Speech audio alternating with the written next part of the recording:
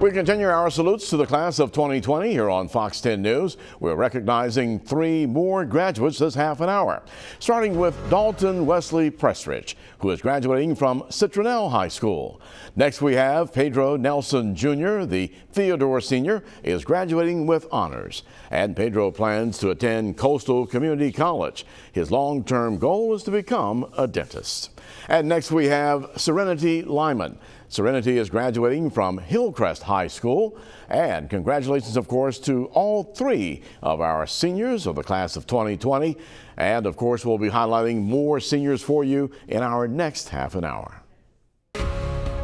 Saluting our seniors is sponsored by Aero Exterminators, Pritchard Waterworks and Sewer Board, Hanson Supertex, and Main Street Flooring and Design.